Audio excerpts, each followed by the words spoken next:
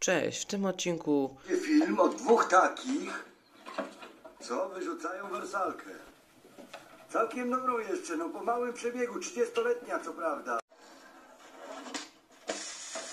chcę Wam pokazać na jakich mapkach moim zdaniem będzie można grać nową postacią Nani. Oczywiście jeszcze nie ma tej postaci w grze, no jednak ogólnie pokażę Wam mapki na 3 vs 3, na których moim zdaniem ta postać mogłaby dość fajnie grać.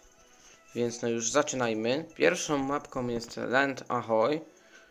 I moim zdaniem właśnie na tej mapce będzie się sprawdzała ta postać dobrze. Ponieważ tak, jest to postać na dalszy zasięg.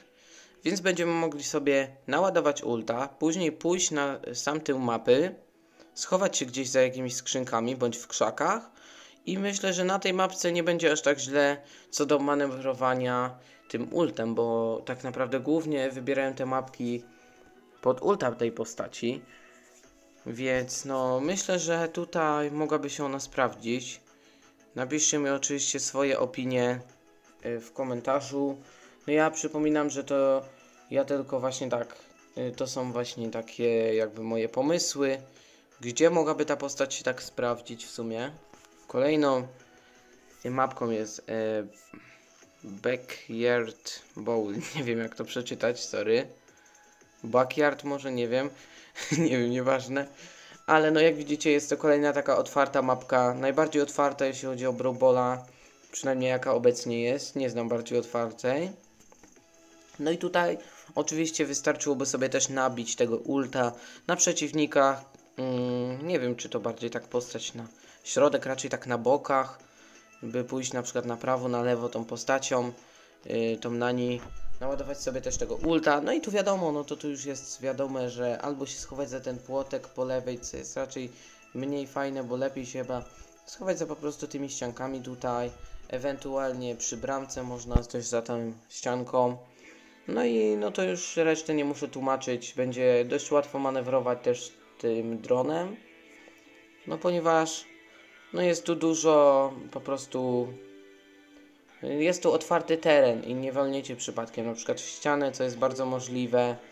Więc no myślę, że jest to y, spoko pomysł y, gra, zagrać na tej mapce. No jednak mi się wydaje, że najbardziej tą postacią się będzie fajnie grało na y, duo. No i ostatnią tutaj mapką jest Factory Rush. No i tutaj właśnie też jest oczywiście otwarta mapka. Nie wiem, czy na Siege'u będzie to dobra postać. No właśnie, co do Siege'a, to ciężko mi powiedzieć. Ogólnie, no to nie wiadomo. No mi się wydaje, że to będzie głównie postać pod duo.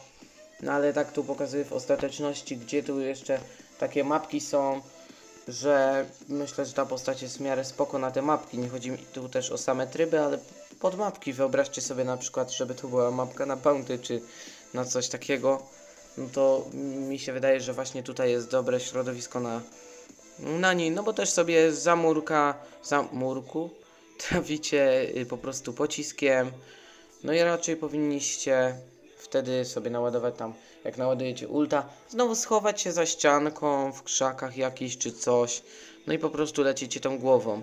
No wiadomo, y, znaczy głową, no, no dronem. Nie będzie to takie proste, wiecie, na przykład podle nie podlecicie do sejfu, ale no możecie ogólnie y, właśnie pokonać przeciwników tym ultem. No ult jest dość spoko.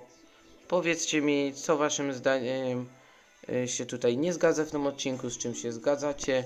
Napiszcie mi też ewentualnie, y, jaka waszym zdaniem jeszcze mapka mogłaby się pojawić tutaj w tym zestawieniu.